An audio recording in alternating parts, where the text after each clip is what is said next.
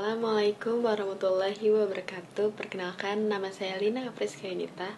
Saya dari kelas 11 MIPA 1 Di sini saya akan menjelaskan tentang Perang Patimura.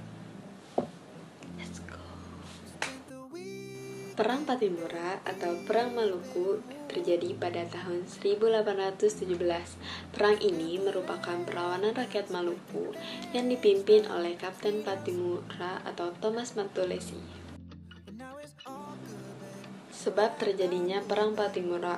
Yang pertama adalah diberlakukannya perlayaran hongi atau monopoli rempah-rempah dan hak menebang pohon pala dan cengkeh yang tidak mengikuti aturan monopoli.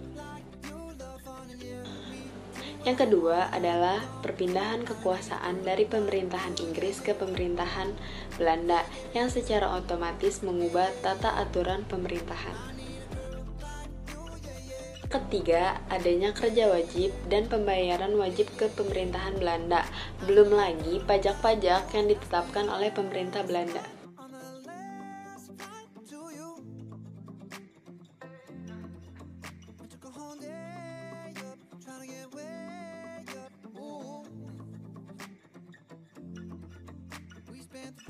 Kronologi Perang Patimura rakyat Maluku melakukan perlawanan pertama kali pada tanggal 15 Mei 1817 dengan melakukan serangan malam ke pos perahu di pelabuhan Parto dengan berhasil membakar perahu-perahu pemerintahan Belanda tersebut.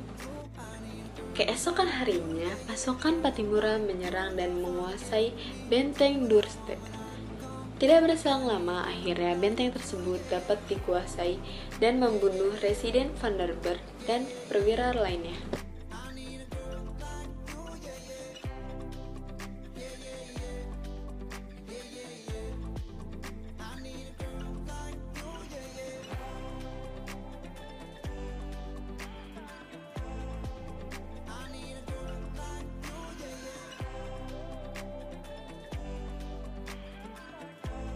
Setelah terjadinya penyerangan tersebut, Belanda tidak tinggal diam. Belanda mengirim pasukan bersenjata lengkap dengan dipimpin oleh pimpinan Mayor Bedges dan di tanggal 20 Mei 1817 terjadi pertempuran antara pasukan Patimura dan pasukan Belanda di daerah Sapurua yang akhirnya dimenangkan oleh pasukan Patimura yang menembak mati Mayor Bedges. Perlawanan pasukan Patimura terus berkobar dengan gigih. Pasukan Belanda meminta bantuan kepada pasukan Ambon. Setelah datangnya pasukan bantuan yang dipimpin oleh Kapten Lisnes dan Mayer, di bulan November 1817, Belanda melakukan serangan besar-besaran ke daerah pertahanan Patimura dan Benteng Durste. Pasukan Patimura yang terdesak akhirnya mengosongkan benteng tersebut. Pasukan Patimura mundur dan akhirnya benteng tersebut dikuasai oleh pasukan Belanda. Banyak daerah yang jatuh ke tangan Belanda. Satu persatu pimpinan pasukan Patimura tertangkap dan akhirnya Patimura itu pun sendiri yang tertangkap. Patimura diajak berunding namun ia menolak. Akhirnya pada tanggal 16 Desember 1817, Patimura dihukum gantung di benteng New Victoria Ambon.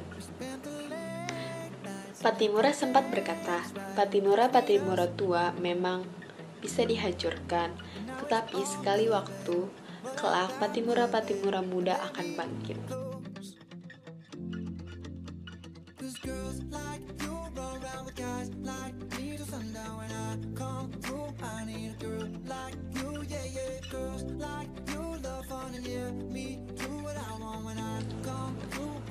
Itu saja dari saya. Apabila ada salah kata dalam pengucapan, mohon dimaafkan. Kurang lebihnya mohon maaf. Wassalamualaikum warahmatullahi wabarakatuh.